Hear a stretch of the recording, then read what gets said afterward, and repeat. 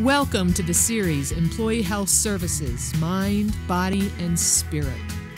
Employee Health is a section in the City of Albuquerque's Risk Management Division. Its mission is to promote a sense of community and increase wellness among city employees and their families by providing education and counseling about physical and mental health. And now, Mind, Body, and Spirit with Dr. Julia Bain. Hello and welcome to Mind, Body, Spirit. My name is Dr. Julia Bain. Today we have the privilege of speaking with David Harper, Inspector General for the City of Albuquerque. Welcome to this show, David. Thank you so much. Glad to be here. I'm so glad you're here. I've been wanting to, we have been working this out for months. I'm glad you're finally here. I apologize for some of the delays, uh, but yeah, glad to be here. Well, you're a busy guy. you're protecting the trust. We're doing our best. If you remember one thing about the Inspector General, remember this he is protecting your trust in your city government. And so you did a good lead a few minutes ago about how to start this interview off in terms of you know, what you're about, and because I don't think most people know what an inspector general does. So why don't you just go with it? Sure, absolutely. Yeah, thank you for the opportunity again, and again, it's good, it's good to be here. Right. So. Uh, if you haven't served in the military or had an opportunity to work in the federal government, or I would say live east of the Mississippi River, it's probably unlikely that you've uh, encountered the inspector general concept before. So let's just give a little bit of background, a little bit of history, uh, okay. uh, kind of talk about what the concept really is. So the Inspector General actually it was started in the French military, and then General George Washington actually established the office as, as part of the Continental Army. Really? The, the, yeah, and the initial the initial mission of an Inspector General was to make sure the inspector to make sure that the troops were ready to fight and that all of their equipment was in operable condition and that they had all the supplies and, and, and everything that they needed. Go figure. So, so, yeah, so that's kind of the background. So our military, since George Washington, has had an inspector general, every branch of service, on every military base, again, to make sure that the troops were ready to fight and do their job. Um, now the federal government actually uh, established in 1978 the concept in all federal departments. It went a little bit in a different direction. They still had the inspection piece, but they also started doing audits and investigations as well, okay. and that was in 1978. Okay. Yeah. So it, I will give uh, the credit to Massachusetts when you get to the, the state and local level. And that was about 20 years ago. Massachusetts was the first state to do that. Since then, other states and other municipalities have also established it, and especially on the East Coast. Albuquerque is progressive. We're the, about the only city, I think, west of the Mississippi to actually have an IG. What do you know? Yeah, yeah. We prevail once again. so, a little bit about the mission here in Albuquerque, if you'd like. Um, so, our job is actually to investigate allegations, and that would include like fraud, waste, abuse, misconduct, that kind of a thing. Okay. Yeah. Basically, what we're doing is we're looking out, as you started, to, to protect the trust of the taxpayer, the public. Mm-hmm. They put a lot of confidence in the city and they want to make sure that their interests are protected. They work hard for that money. So basically, it's to make sure that the, the government is using their money um, with, with, a sense of integrity, mm-hmm. uh, that we're transparent, and that we're accountable. And so our job is to kind of enhance that, make sure it's being done. Well, David, can anyone report, anybody who lives in Albuquerque? So basically, if you are, are, are an employee of the city, uh-huh. or you are a, commu- a, citizen in the city, uh-huh. um, and you become aware of something that you think is improper, um, whether it be misconduct by an official or a city employee, or you think that your money is, is being misused uh, in ways that uh, city resources are, are your, being your tax money? Absolutely. Okay. Then yes, you may give us a call and we will take a look at it. We'll assess it. We'll talk to you. Absolutely. Wow. Yeah. Well, you know, I know the mayor, uh, you know, when he began many years ago, was very valued transparency very, very much. Mm-hmm. And, you know, obviously you're part of that transparency. Yes, we, we are certainly one part of it. I think I think transparency is a responsibility of everybody in government, you know, and uh, certainly that's probably one of the prime aspects of what we do is is to ensure that uh, that our government is transparent. And that, again, we're advocates really for the citizens and the taxpayers, um, you know, make sure that their interests are number one and that that is the priority here. So transparency and accountability go hand in hand. And we were talking earlier too about how you're very careful about making sure there is no conflict of interest or you know you really have a separation between yourself and the people that you may have to investigate. You want to talk a little bit about that? Sure. Let's, um, yeah, you know, and, and, and, and as we get into that, let me go a little bit backwards again to the history. So this office was created in 2004 by City Council through a through an ordinance, uh, the Inspector General's ordinance. Okay. That ordinance has been has been revised a few times since then. But one thing that's been there from the very beginning is the independence of this office. And unlike some IGs, especially at the federal level, where an IG might work for, say, for instance, the Department of Transportation at the federal level, an IG works for the Secretary of Transportation. Here, we don't work for the mayor. We do not work for City Council. And the purpose of that is that we are independent. So if a citizen has an allegation that uh, that you know even the mayor, worst case scenario, or city councilor is doing something, that would be difficult for us to investigate that if we worked for the city council or for Don't the mayor. Don't bite the hand yeah. that feeds you. Yeah, so you right? can't, you've got to make sure you're not impaired in any way. Uh-huh. So it's not just through uh, the appearance of it, but in fact. And so that's what helps us stay independent and be objective, and then have the have the confidence of the community that, that we actually are independent and that we have no biases. You mentioned that you were going to go out to uh, a neighborhood association meeting next week or something. Is that something that you will do? Will you talk to different clubs or associations or groups of people in the community who want to either, I don't know, do a group report or ask you questions about, you know, we've complained about this park for, I don't know, years, nothing's ever been done. Will you go into the community and, and give a talk?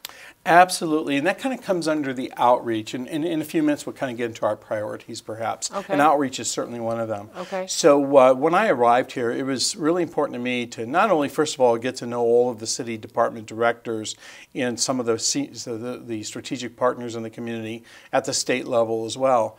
Um, but the community too. So I reached out to a number of the coalitions of neighborhood associations. I went out and I did presentations at their at their periodic meetings. Oh, good. And, I, will be doing that for the District 8 Coalition next week. I, uh, I had written a, a piece for the Albuquerque Journal about two months ago, and a particular member of the coalition saw that article and uh, looked at it as an opportunity, so they contacted us, and so we're going to be going out and doing that. But uh, not only just the neighborhood associations and the coalitions, but other organizations, associations, civic organizations, whatever, we would be glad to come out and, and, and talk to uh, a group of citizens that have an interest in hearing what we do. Um, because again, everybody in the city interfaces and has interfaces with city services in one way or another the most common thing you might think of is your trash collection. But if you go to a zoo, the biopark, any of those facilities, a golf course, uh, if you go to a multi-generational center, uh, there's a lot of city services that people use. The library. The library, right. So if you have any concerns or complaints about any of these services, we're the ones to call. So absolutely. Good. So people can find you, and they are. Absolutely. I get emails, I get phone calls. Um, and some people walk into our office. We're very accessible. That's our job to serve the city, to serve the community. Wonderful. So. And I want to put some of those numbers on the screen, and then I want to talk about your priorities. Sure. So absolutely. why don't you talk about, I mean, what's your hotline number, what's your website number, and then we'll put that on the screen. Sure, yes. Yeah. So uh, our hotline um, phone number would be 768, of course, 505 area code, 768-4TIP, and 4TIP is 4847, so 768-4847. Okay. If you prefer to email us, you can go to tipsnow at cabq.gov.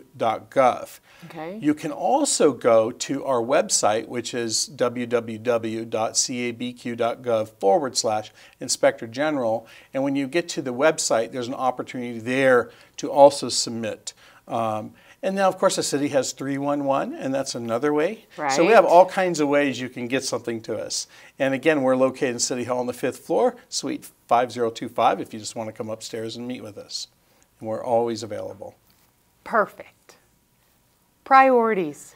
So, priorities. Well, we do have a limited office. In fact, I'll say we're the smallest department in the city. Um, we're hopeful of growing and, and getting different kinds of uh, capabilities and experience over the next few years that I'm here. Um, so, we do have to have priorities. Uh, we do assess any complaint that comes in. And when we get a complaint, we look for, first of all, is it something within our purview? And if it is, if it's not, we'll look to see if it should go to another city department or another government a- agency at some level of government. Maybe the police department. Could be the police department, it could be a state agency, it could be a federal agency, and we will help that person get it to the right, uh, the right agency, and we do that a lot. But if it is ours, then we determine whether or not it merits our attention. And again, it's not that maybe there's not something that's you know uh, a misconduct issue or something that's minor. But again, because we have a small staff, we want to make sure that we're doing the greater good for the greater you know population here. So we're, we're, we're, we established some priorities, and I'll go through those. Um, I think that probably the, the thing that uh, uh, could impact the widest audience is corruption in the government, the city government, major contract fraud, where we're spending millions of dollars, and systemic fraud, where a particular person in a city department may have been abusing, using their position for private gain for a lengthy period of time and has gone undetected. So those are things that could have a large impact financially or trust-wise, and so those have to be our priorities. Yeah, we want to protect the trust, not have a breach of trust. Absolutely. And I would say probably the fourth one, which, and, and these are in no particular order. Uh, the fourth one is probably anything that impacts public safety. So, for instance, if there is something to do with uh, fire department, uh, animal wel- welfare uh, department, uh, or some of the types of uh, ordinances that we have that impact public safety, like the American Americans with Disability Act requirements, um, that's that's high uh, on our priority list as well. Uh, so yeah, those are our priorities, and that helps us make a determination whether it's reactive or something that we're proactively focusing on. You know, probably most people don't know this about you, and I think it's really cool. And when I found we started talking about it, I started humming the Get Smart tune. Dun, dun, dun, dun, dun, dun. Remember the Doors? I'm dating myself. Anyway, Yes. special agent. You were a special agent. Could you could you just share with the community a little bit what you used to do before this, and and what qualified you to be able to investigate uh, any type of concerns? Sure. No, absolutely. I would love the, the opportunity. So I, I've been in this position just a little over a year now. I will I will say that. Okay. Um, it's been a great it's been a great opportunity for taking my prior experience and applying it to this position. And I'll explain then. So right before assuming my current position, I worked in the federal government. I retired after about 40 years of combined active duty in civil service with the Air Force. And Thank you for your Well, thank you. Well, service. I appreciate the comments. Thank you. And uh, yeah, my hat off to any veterans out there, of course. Um, 35 of those years I was with the Air Force Office of Special Investigations. Oh, if you my. if you've ever watched the TV show NCIS, we were the sisters. We are the sister. We were. I was. Whatever I'm trying to say here. The sister service of NCIS. We didn't have the TV show, but uh, but anyways. So that's the investigative agency for the Air Force, and specifically where I spent most of my time, 30 years of that was in white collar crime. And I finished my career at our headquarters at Quantico, the Marine Corps base, and seven years there where I oversaw all of the fraud investigations throughout the organization at about 200 different locations. Wow. So uh, my focus specifically was procurement fraud, the big defense contractors and that kind of thing. Did you find any? Oh, yes, yeah. There's plenty out there. I, I want to make sure I don't send the wrong message to our viewers. 99% of, of folks, whether it's Boeing or Lockheed or, or whether it's uh, you know, your neighbor uh, owning a mom and pop show or, or an employee of the city, are doing the right thing for the right reasons. It's that small percentage that why we need to be out there, much like the police department. You know, we need to be out there for those opportunities when somebody is taking advantage. And, um, and so I would say that in my last job, you know, this, the same thing held true. And, and so, yeah, certainly uh, we did a lot of investigations. And that's, those are the same skill sets that transfer here. Again, as I said in my priorities, we're looking for uh, companies out there that would take advantage of the city mm-hmm. and the taxpayers' dollars. Mm-hmm. We are looking for opportunities where maybe some employees decided to steer left when they should have went right. Mm-hmm. Um, you know that kind of a thing. So but it is it is white collar crime. I would say much of it is considered white collar. Uh-huh. Um, where I came from, yes. Here at the city, we have uh, we have misappropriation, theft of city funds. You know, runs the gamut. Uh, some people just misusing their properties, government property um, that kind of thing as well. So, so, but yeah, a lot of it is fraud or white collar crime and, and other types of wrongdoing. So, as a result of the outcome of one of your investigations as Inspector General for the city of Albuquerque, could somebody go to jail?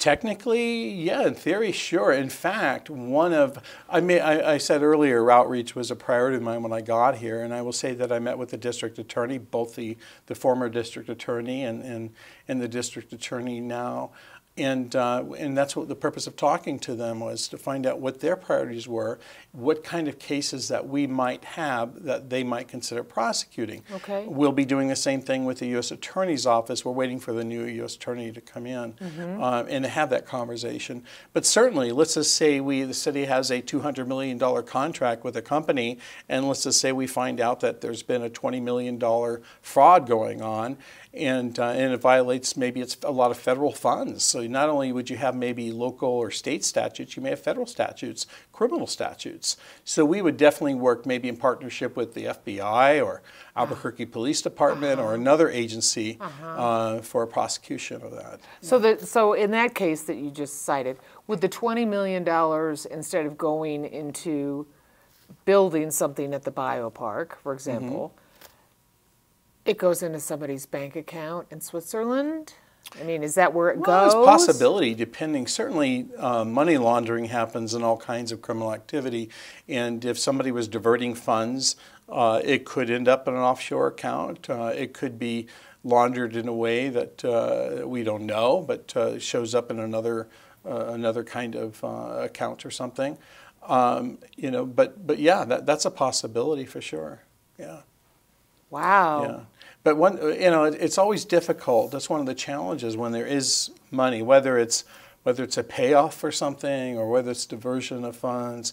You, sometimes it can be a challenge following the money, and that's one of the reasons we need to get a forensic accountant on our team down the road. Yeah, yes. To help you know tra- track that kind of. That seems extremely important, and even you know it's sad but true. Even in families, mm-hmm. money can destroy families. Oh, sure. You know, whether it's um, somebody didn't get a part of, of the inheritance. Right. Or somebody said that, you know, they had put mom's money in an account and that never really happened. Um, and it can blow up and destroy families because it turns into sometimes, unfortunately, people become greedy. Let me let me talk just for a moment. I think this is a good point to bring up uh, what we call the fraud triangle. Don Cressey was a professor, I believe, in Stanford or UC Berkeley, and he developed what he called the fraud triangle. And uh, the Association of Certified Fraud Examiners teaches this, this model, and basically it, it explains much of the fraud and financial crime that goes on, and probably it's other crime too. It's called the fraud too. triangle? It's called the fraud triangle, so there's three sides to it, right? Okay. So one side would be opportunity. Um, so you have to have an opportunity. You're, an, you're a city employee and you happen to work in a position where you can make decisions or influence decisions, maybe the award of a contract, maybe money or whatever. So an opportunity. This, the, the, the other side, the second side, um, would be uh, rationalization. And that might be wow. where, where you could explain to yourself, I've worked for the city 18 years, I've never had a pay raise, i am underpaid, I'm overworked. You know, me taking a few dollars here and there, I'm entitled to it. Somebody who otherwise would never commit fraud might commit fraud due to pressure. Let's just say, for instance, you're a father and you have a, a young child at home is recently diagnosed with something horrible or in a major accident, and all of a sudden medical bills are piling up. You normally would never do anything, you know, that was unscrupulous or whatever. But in this situation, you might rationalize and and and an opportunity might be there because of your job to help you pay some of those medical bills. Wow, so that's a that's the fraud example. triangle. A lot Wow. of people that normally would never think to do something wrong find themselves doing something wrong one day. Uh, most of us would, would, would probably never see ourselves crossing that line, but we don't know until we get there. So that's the fraud triangle, and that explains a lot of the fraud that goes on. That's fascinating. I have never heard of that before. Yeah, so that's good to know. So, uh, you know, so we try to get out and educate the public and, and help them kind of understand what some of the indicators might be, when to recognize that. If you're a supervisor, you know, how to recognize maybe some, some types of indicators or patterns in maybe one of your subordinates or, or you're a member of the community and, and you know somebody who works in, in the city government and you start to see some unusual behavior and you know that person spends perhaps more money than, than what they make. I was going to say, could know. you give us some examples of indicators? Yeah, so uh, no, absolutely. If somebody, for instance, starts working a lot of overtime um, and they're the last ones to leave all the time, you have to wonder is there something that changed? Is that giving them access to something they don't want witnesses around? Um, you know, their, their time card changes, uh, for instance. Um, but yeah, uh, also, like we talk about, that maybe they became an addict and have a drug problem all of a sudden, and it's a behavioral issue. And There you know, go. sadly, so Yeah. there's all kinds of reasons. Gambling problems. Gambling problems. We saw that at the fed, at the state level. I think about two years ago with the Secretary of State. You know, so it's Right. it's just recognizing a change in somebody's routine and behavior, and maybe it's their mood. Maybe somebody starts coming in really irritable or or whatever. So it's recognizing that. If you have any concerns, I would say, talk to your supervisor. Um, and then, uh, and then we're always open again. And do we have a few moments to talk about the whistleblower ordinance Please. as well? Yes. Okay. So let me, our, our ordinance dictates, our IG ordinance dictates primarily what our job is. But there's a few other ordinances I want to talk to briefly. We have election year, so I want to talk about that for a moment. And then we have the whistleblower. So there's a whistleblower ordinance. Uh, keep in mind, this is only for employees, not for citizens. Okay. But if and, and there's also a similar law at both the state and federal levels if there's federal funds. But basically, if you're an employee and you report something that you think is wrong, and then you believe there's been retaliation against you, such as you've been demoted or you're fired or whatever, then you possibly have a violation of the whistleblower ordinance. And you may come to our office, you may go to your department director, but if you have concerns it involves a department director, you certainly can come to the IG at any time. We'll talk to you, we'll look at that, we'll assess it, and, and then and if it's appropriate, then we'll investigate it too. Um, and, and then potentially intervene. Hopefully, yes. Uh, you know, we don't really have the power to tell, uh, you know, the, the city administration what to do. We can bring it to their attention, certainly, and, and shed light on it, and hopefully that is helpful. Okay. Um, now, the other ordinance out there, basically, the city has a code of, of ethics, um, and, and uh, the city uh, requires that our office, the city ordinances require that our office uh, serve the, uh, the, the board uh, of ethics and, and campaign uh, practices. Essentially, that if there's any allegations of campaign fraud or other wrongdoing uh, by any, any candidates or anybody working in that process, they can come to us and we would investigate that. Uh, so, for instance, right now, the Journal reported a few weeks ago uh, that there was a, a complainant out there who's filing a lawsuit against one of the people, one of the candidates running for one of the upcoming council positions. So the board is going to do, be doing a hearing on that. We'll be available should they need us to investigate that. So those are Okay. just some of the other areas that we get involved in, besides just fraud, waste, and abuse. Conduct unbecoming. You know, it would have to be a violation of actually an ordinance or state law, you know. Uh, I don't want to get into judging what's conduct unbecoming. necessarily. DWI? Uh, you know, um, I, Nudity? I mean, it would have to be probably a violation of campaign funding, rules that govern how you use campaign funds, and that kind of thing. Ah. So not not character issues. I think the voters are going to have to be the ones responsible for judging character. not character issues. Yeah. Thank goodness. Yeah, they still have that. You know, there's a lot of power in the pen. Uh, and, and, you know, that brings me to another comment I will make. I sometimes do get citizens concerned, engaged citizens who I adore because we couldn't do this without citizens. But sometimes the complaints do go to what they consider to be bad policy or poor decisions that were made by, by elected leaders or appointed officials. And bad policy and, and what's perceived as a bad decision, we don't really have any control over. Yeah. Um, so usually I just tell the citizen, yeah, you know, you guys are more in control of that than I am at the voting booth. So, but we are here should you become aware of something or believe that something illegal or in violation of an ordinance has happened. Okay. Good. Good to know. Glad you're Yeah, here. yeah. yeah. We've got about five minutes, so I want to make sure you get whatever important points Yeah, um, no, absolutely. to our audience. Yeah, you, you know, I, I, I, I, there's a couple things I just kind of wanted to cover here, and Yeah. uh, so uh, I want I wanted to um, to to make sure that I didn't didn't um, miss anything here. I want to make sure that first of all, I don't leave the wrong impression. Again, um, and that is, I believe that 99%, like I said before, of public employees are here because they want to serve. They want to do the right thing. Many of them have formerly served in the military or other organizations, and they are here and they're doing the right thing as public servants. Um, and so that's the first thing I want to say. It's a And- calling, and Yeah. you're the one who said that to me a few months ago. It you is. said, you know what, being a public servant is a calling, and I remember saying to you, you're absolutely right. It really is. And so that's the first thing. I certainly don't want people to take away from this that, that, that we think that there's a lot of fraud going on or there's a lot of misconduct No. or that people are corrupt. No, it's just the opposite. Most people here are working hard.